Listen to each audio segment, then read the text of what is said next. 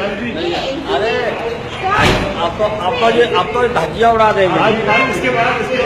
हाँ आएँगे आप तो आएँगे। सब जगह आएँगे आपको उनकी धज्जिया कहावत तो की पता है।